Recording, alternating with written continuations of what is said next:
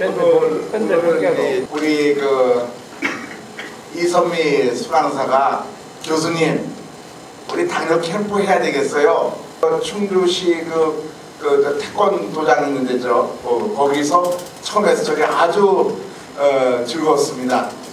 그로부터 한 해도 빼지 않고 어, 이때까지 15년 동안 계속 이걸 하고 있습니다. 어, 전, 전 세계에서 이 집합을 달고 있는 우리 뉴질랜드에서 오셨단 말이에요.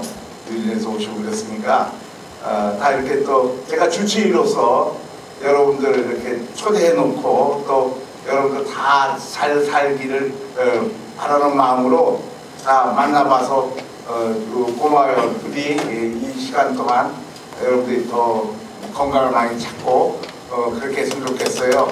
I love you. 내 자식들 같아요. 심하면은 여러분들 잘해서 건강해지고 어, 그 완치되기 바랍니다. 어, 하여간 어, 지금부터 시작이니까요. 어, 1박 2일 동안 여러분 많은 정보도 얻고 다, 또 다짐도 하고 어, 어떻게 잘 다짐도 하고 어, 그런 생각이 필요합니다. 말이 길어져서 미안합니다만은 오늘 오다가 노인의 교수랑 같이 오다 이 얘기해 보니까 환자들이 우리 의사들 생각하는 거랑은 좀 다르다는 걸 알았어요. 어, 게을러지고 잘 모르고 그러더라고요. 좀 부지런하십시오.